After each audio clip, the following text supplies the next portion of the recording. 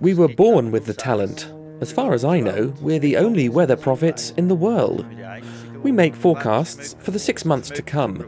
Our forecasts are on average correct 80% of the time, which is better than the official weather service, even taking into account that they only make five day forecasts. By the looks of their holes, the mice are probably in hibernation. They could be mating, but we know at least that they're quiet, which is an indication that the weather is going to remain stable.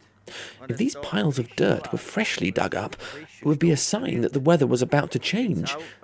We can also make long range forecasts based on the length of their tails. According to what I've seen, we'll get a lot of snow in April.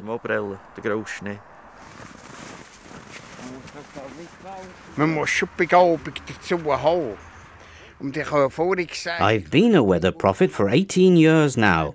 You need to have the gift. I knew I had it when I was only three weeks old. There are many people who can sense the weather, but most of them really don't know anything about it.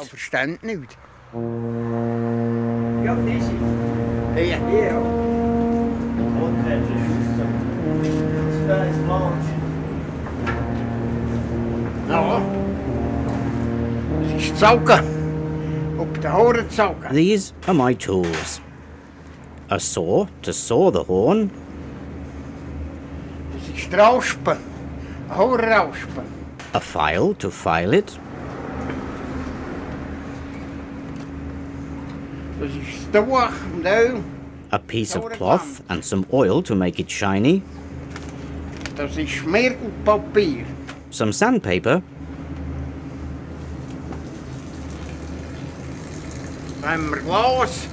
and a piece of glass to clean it.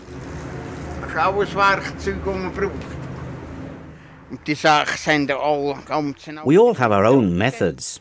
You never know which one of us is going to make the most accurate prediction. It changes from year to year.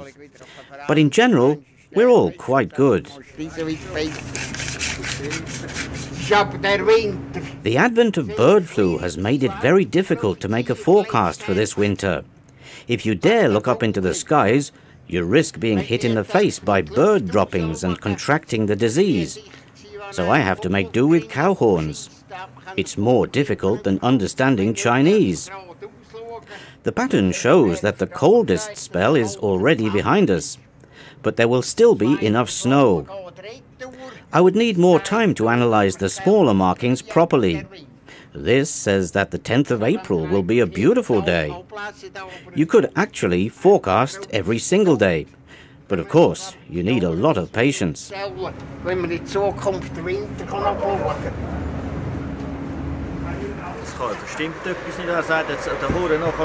We don't agree. He says that according to the cow horns, the 10th of April will be sunny. But I've analysed both mice and women and have come to the conclusion that it won't be a very nice day. I think you're wrong. I know that cows are reliable, much more so than women.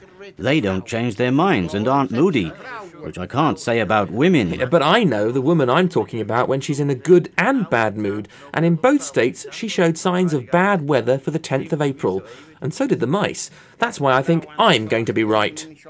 You see, my problem is that I can't speak to a woman when she's in a bad mood but they seem to talk to him no matter how they're feeling.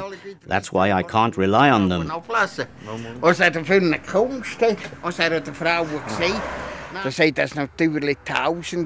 Prophets, of course, have existed for thousands of years.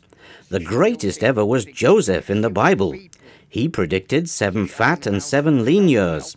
In other words, he was able to make a 14 year forecast. 7 Jahr, 14 Jahre hat voraus prophezeien